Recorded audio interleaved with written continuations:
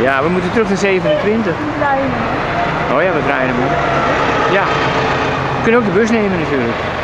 Nou, daar is dan eigenlijk het... Eh, ja, dat is het eh, Dakota Building.